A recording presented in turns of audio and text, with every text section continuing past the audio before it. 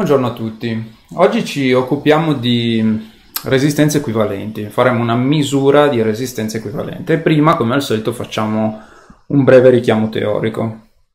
Intanto vediamo il materiale che andiamo ad utilizzare. Sicuramente utilizziamo una scheda Arduino per fare le, le, acquisizioni. Io vi ricordo sto utilizzando una scheda Lego compatibile ed è una Lego Mega, però è sufficiente un Arduino 1 per fare questa esperienza, addirittura un Arduino Nano. Ehm, dopodiché andiamo ad utilizzare due resistenze del valore di 1 kilo, due resistenze del valore di 2 kilo, ok?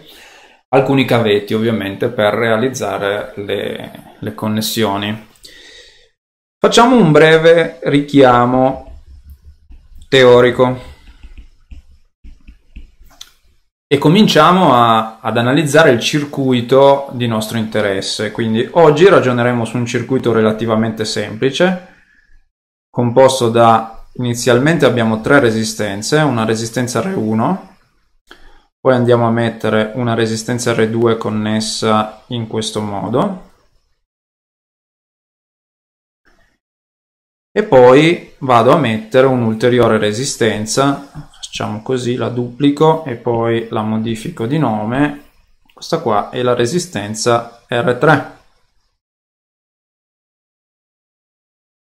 Ed ecco qua che abbiamo realizzato quasi il nostro circuito. Vado a chiudere rispetto a questo terminale. Questi sono i terminali A e B e vogliamo calcolare la resistenza equivalente rispetto ai terminali A e B. Mettiamo dei valori. Supponiamo che questa valga 1 kilo, che la resistenza R2 valga 2 kilo e che la resistenza R3 valga 3 kilo. Questi sono esattamente i valori che andremo ad utilizzare e supponiamo di voler calcolare la resistenza equivalente rispetto ai terminali A e B. Ok?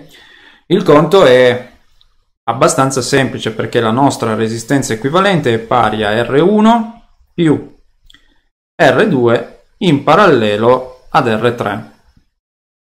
Non dobbiamo neanche scomodare una calcolatrice perché questa vale 1 kg questa vale 2 kilo questa vale 2 kilo Due resistenze in parallelo di pari valore mi danno una resistenza di valore pari alla metà, quindi 1 kilo, e 1 kilo più 1 kilo mi fornisce una resistenza del valore di 2 kilo.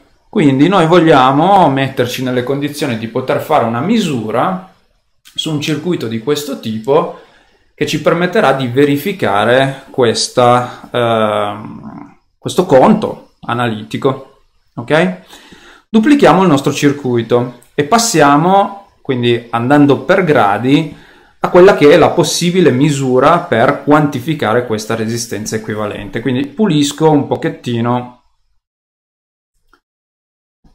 il circuito. Dunque, intanto io Ricordo, e ricordo proprio adesso che stiamo parlando di misura, che questi video non sono finalizzati a delle misure di precisione. Utilizzo le misure per far comprendere un po' meglio, per far assimilare un po' meglio dei discorsi teorici che rimarrebbero se no molto astratti. Ok? Quindi io non vi darò delle informazioni per fare misure di precisione, vi darò delle informazioni che vi permettono di fare delle mini esperienze di laboratorio che permettono di capire un po' meglio gli argomenti teorici. Quindi, cosa possiamo immaginare qui come setup sperimentale? Direi che se noi andiamo a prendere un generatore esterno, ok? Questo generatore esterno lo chiamo eh, V1 ok? E andiamo con questo generatore ad alimentare questa rete, chiaramente il nostro generatore alimenterà, scusate, erogherà una corrente. Un valore di corrente che viene assorbito dalla rete, che in questo caso è una rete puramente resistiva. La rete di cui vogliamo quantificare la resistenza equivalente. Ora, noi supponiamo di avere tutto questo in un blocco che non conosciamo, però sappiamo che sono tutte resistenze. Beh, è lecito eh, dire che, queste, che questa rete, cioè la rete che vede il mio generatore esterno, si comporta come un'unica resistenza. Una resistenza che è proprio la nostra resistenza equivalente rispetto ai terminali A e B. Questa è la nostra resistenza equivalente. Ora, è chiaro che ai capi della nostra resistenza c'è proprio la tensione V1, la tensione di alimentazione e nella nostra resistenza viene a eh, fluire proprio la corrente I. Quindi la tensione di alimentazione che noi abbiamo imposto e la corrente che eventualmente potremmo misurare sono legate tra di loro. La tensione V1, scusate, qui avevo scritto una cosa sbagliata, quindi la tensione V1 e la corrente I sono legate da un legame di proporzionalità, la legge di Ohm e il fattore di proporzionalità è proprio la resistenza, vale a dire che noi potremmo quantificare questa resistenza come rapporto della tensione di alimentazione la corrente I. Voi avete capito che se misuriamo questa corrente e conosciamo questa tensione di alimentazione, ne facciamo il rapporto e sperimentalmente quantifichiamo la resistenza che prima abbiamo calcolato analiticamente. Nasce un problema. Il problema è che dobbiamo misurare questa corrente e con Arduino non è così semplice andare a fare una misura di corrente. Se vi ricordate, in precedenza, nei, video precedenti, abbiamo fatto delle misure di tensione. Con questi canali qua, quelli che vi sto mostrando, vedete, a 0, a 1, a 2, quelli sono degli input analogici e quelli misurano una tensione, non una corrente. Quindi come si fa una misura di corrente? Ripeto ancora una volta, le informazioni che vi do sono qualitative, non quantitative.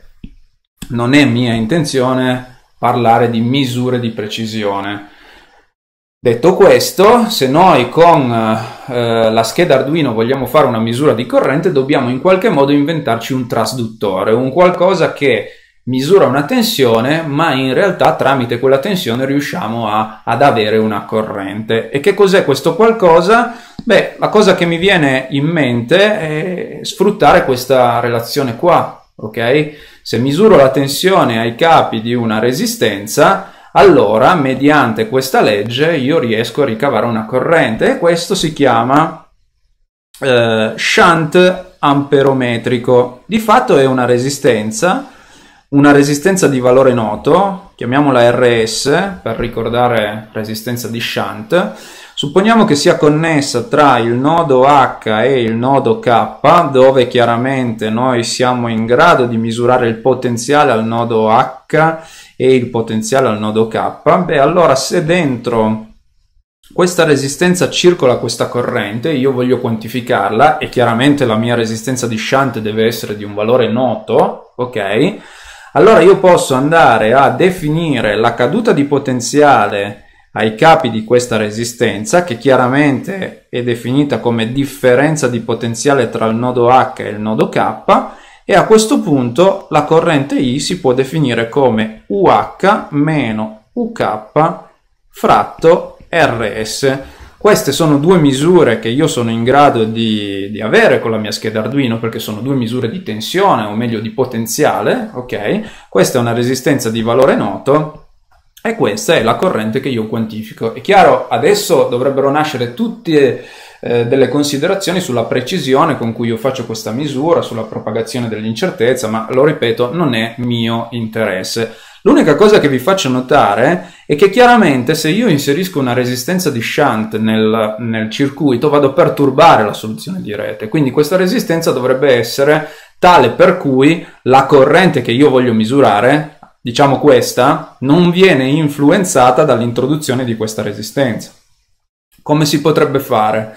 Questa resistenza RS dovrebbe essere molto più piccola della resistenza equivalente. A quel punto io non ho perturbato il circuito con una buona approssimazione, ma il, il contro di tutto questo è che la tensione ai capi di questa resistenza sarebbe molto piccola e quindi la mia precisione di misura sarebbe molto scarsa, dato che il convertitore analogico digitale lavora tra 0 e 5 volt.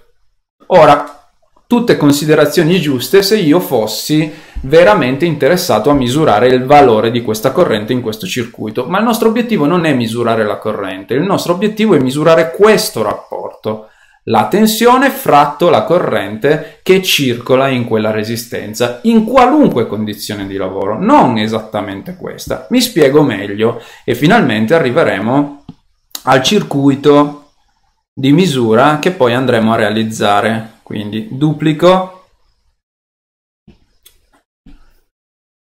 il circuito originale A e B. Vado a prendere il mio generatore esterno, lo vado a piazzare qua. Questo è V1 e già che ci siamo, questi sono i 5 volt che mi fornirà Arduino. Questo punto qua, il terminale negativo è il riferimento di tensione, no? quello che noi ehm, sostanzialmente consideriamo come potenziale di riferimento e quindi potenziale nullo, collego questo generatore alla mia rete dove poi andrà a fluire la corrente I che in qualche modo vogliamo misurare.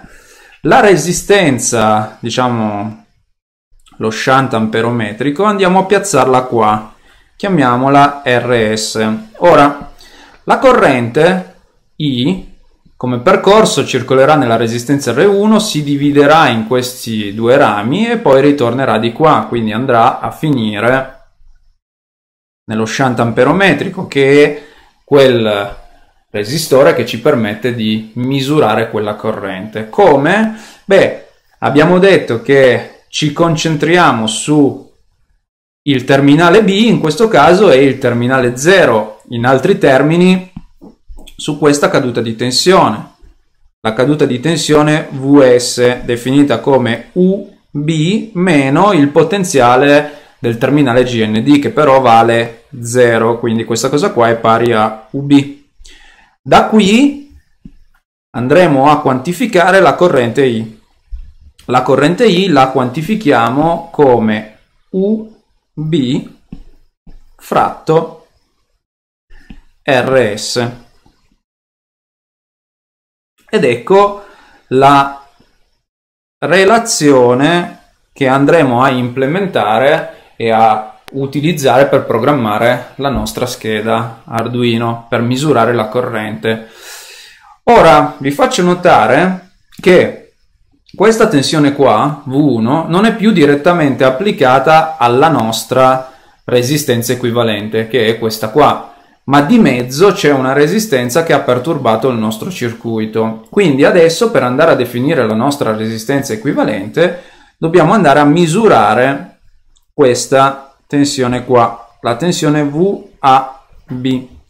Chiaramente la tensione VAB è definibile come il potenziale al nodo A meno il potenziale al nodo B. Il potenziale al nodo A, lo vedete, coincide col terminale positivo del nostro generatore 5 volt. Volendo noi potremmo mettere eh, 5 volt, potremmo utilizzare 5 volt perché sappiamo che Arduino genera 5 volt. Ora, se vogliamo ipotizzare che su questa connessione, che per noi sarà un cavetto fisicamente presente, ci possa essere un minimo di caduta di potenziale, ok, un minimo di caduta di tensione, a questo punto noi potremmo prevedere un'ulteriore misura e quindi misurare anche il potenziale al nodo A, sottrarre il potenziale al nodo B che già abbiamo misurato per misurare questa corrente e infine andare a quantificare la nostra resistenza, scusate, resistenza equivalente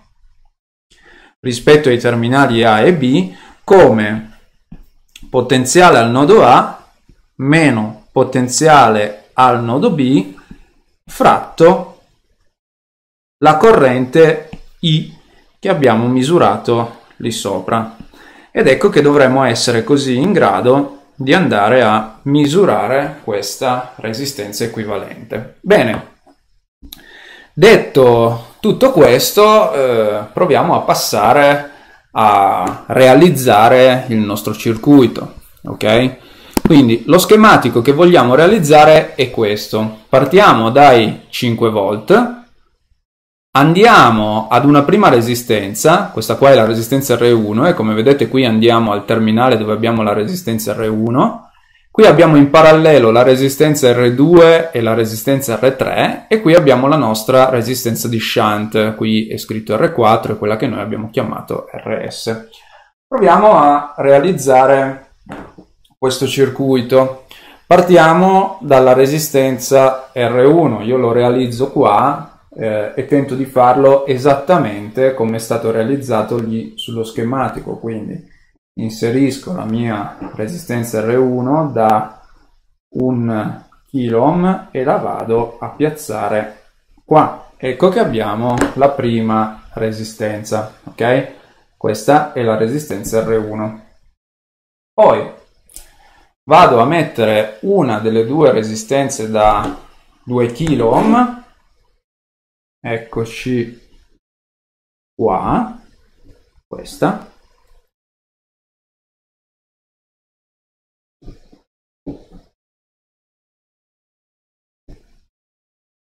Ok,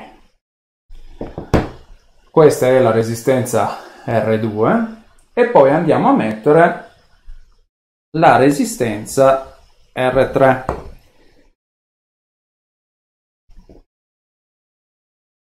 Ecco qua.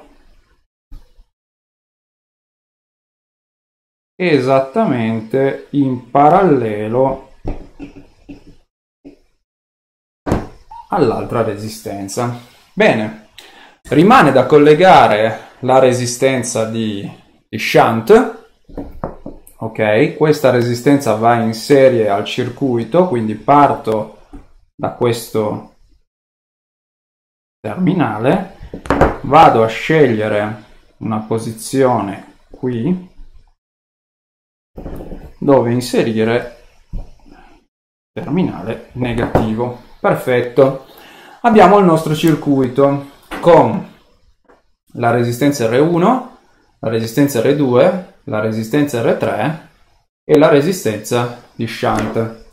Per cui adesso prendiamo il cavetto rosso ok? Quello che mi porta i 5 volt al terminale della resistenza R1, quindi vengo qua, prendo i 5 volt e li porto ad alimentare il mio circuito. Poi prendo il GND, eccoci qua, e lo porto sul sulla resistenza di shunt. Ecco, ho alimentato il mio, il mio circuito. Adesso vado a misurare il potenziale con eh,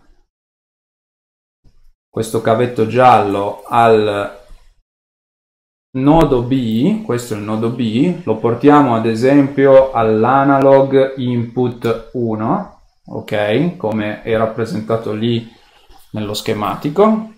E infine con il cavetto verde, questo è, è, quello che tecnicamente potrebbe non essere necessario perché stiamo andando a misurare la tensione di alimentazione. Sostanzialmente ipotizziamo che su questo cavetto rosso magari ci possa essere una caduta di tensione e lo portiamo all'ingresso analogico 0. Ecco che abbiamo realizzato esattamente lo stesso circuito che abbiamo nello schematico. Bene, ora andiamo ad aprire uno sketch di Arduino. Intanto andremo a, ad utilizzare la comunicazione seriale, quindi dobbiamo inizializzare serial begin. Ok? Ora come abbiamo detto, quindi magari questo adesso lo piazzo da quest'altra parte e ritorno sugli appunti che sono necessari per capire cosa dobbiamo fare. Noi dobbiamo fare due misure di tensione, ok? Il potenziale al nodo A, che è una variabile di tipo float, diventerà il nostro analog read del canale dell'ingresso analogico a 0. Vi ricordate che questo lo dobbiamo moltiplicare per 5 e dividere per 1024. In teoria qua ci vorrebbe un punto 0, basta un punto, così diventa un float. Poi andiamo a fare la misura del potenziale al nodo B, che è all'ingresso analogico 1, e a questo punto è sufficiente andare a misurare ah, scusate intanto qua ho utilizzato una notazione malsana eh, ma è colpa mia eh, lapsus. Si fa così float variabile a uguale float variabile ub uguale perdonatemi Ok, a questo punto, terza variabile, eh, andiamo a calcolare la corrente, questa è la variabile i, non mi piace chiamarla solo i, metto current, ok, e questa variabile è definita come UB diviso una resistenza del valore di un kilo, 1 e 3, e questo ci darà la corrente espressa in ampere. E infine float, mettiamo la nostra resistenza equivalente, la chiamo resistance, ok? E questa qua è definibile come UA meno UB, quindi potenziale al nodo A meno potenziale al nodo B, diviso la corrente. Ok, se abbiamo fatto tutto giusto, a questo punto possiamo fare un serial print e magari stampare il nostro valore di corrente, quindi current, io direi che la stampiamo in eh, milliampere, quindi la moltiplichiamo per 1 e 3, ok? A questo punto metto un serial print e metto anche l'unità di misura, che sono dei milliampere,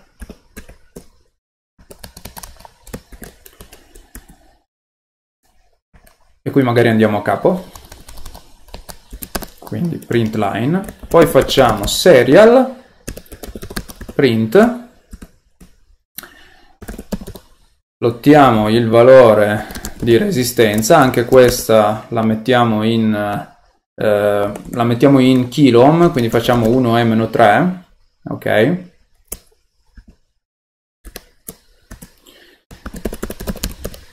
serial print line e a questo punto mettiamo l'unità di misura, l'unità di misura che sono dei kilo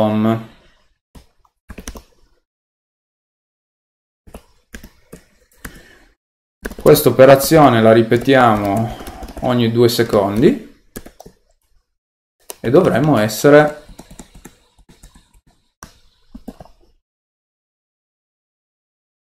al punto in cui possiamo con il nostro cavetto. Quindi sposto il codice da questa parte.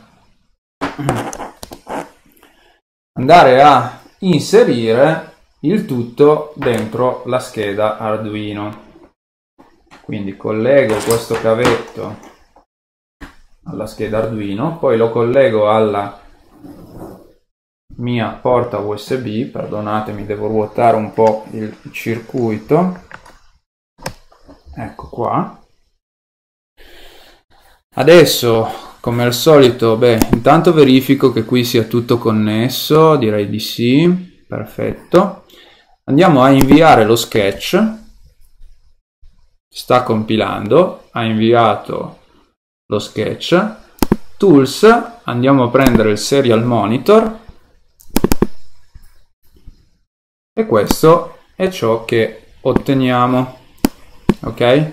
Una corrente di 1,6 mA e una resistenza di 2,02 kilo. Facciamo ancora una cosa, così miglioriamo un po' la, la visualizzazione.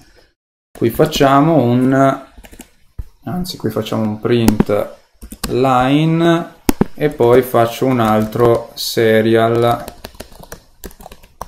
print line vuoto così andiamo a suddividere. Tools serial monitor. Ecco qua 1,66 mA 2.02 kg mm? questo è quanto otteniamo. Da questa parte vi rimetto anche il Tentiamo di mettere questo lassù che sta andando, così vedete anche il, il circuito. Ecco, questa è la lettura che si sta ripetendo, ovviamente è abbastanza stabile. Mm? Ecco qua.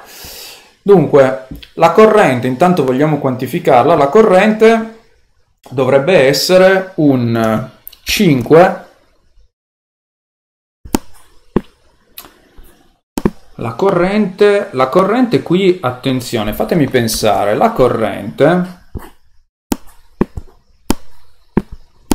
e questa la possiamo quantificare, quindi questo lo sto facendo al volo perché mi viene in mente adesso, al Python, noi stiamo alimentando a 5 volt e abbiamo una resistenza da 1 kilo in serie due resistenze in parallelo, le vedete lì, da 2 kg che mi fanno 1 kg, e poi abbiamo aggiunto la nostra resistenza di shunt, che è una resistenza, forse lì mi sono dimenticato di dirlo, è una resistenza a sua volta di 1 kg, ed ecco che abbiamo questi 1,66 mA. Ora, vogliamo provare a fare una cosa ehm, in real time? Se io togliessi la resistenza R3, cosa ci aspettiamo? Ci aspettiamo di fare la misura di R1 in serie ad R2, quindi questo numerino qua dovrebbe diventare pari a 3 kg. Proviamo a farlo. Togliamo questa, questa qua era la resistenza eh, di eh, era la resistenza R3. Se io la tolgo, ecco che arriviamo ad avere una resistenza di 3 kg. Va bene, e direi che con oggi è tutto. Abbiamo ripassato il concetto di resistenza equivalente, l'abbiamo misurata e abbiamo verificato che il nostro codice funziona sia nel caso che avevamo ideato e sia con quest'ultima variazione in cui abbiamo variato il circuito e variato la resistenza equivalente. Bene, è tutto e ci troviamo al prossimo video.